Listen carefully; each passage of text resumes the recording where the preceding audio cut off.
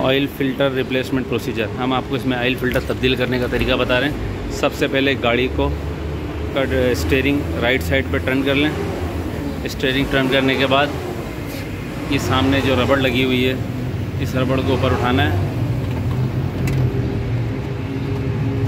ये सामने oil filter लगा हुआ है। इसको पाना लें, पाना लेकर इसको आराम से हाथ डाल के इसको पानी की मदद से आराम से खोलें।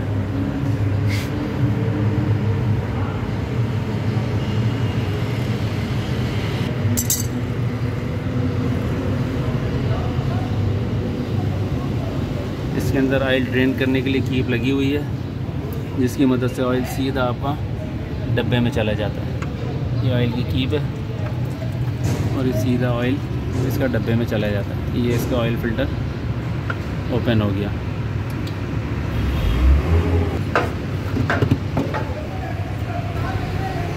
इसका ऑयल फ़िल्टर रिमूव हो गया। अब हम इसको नया ऑयल फ़िल्टर इंस्टॉल करेंगे।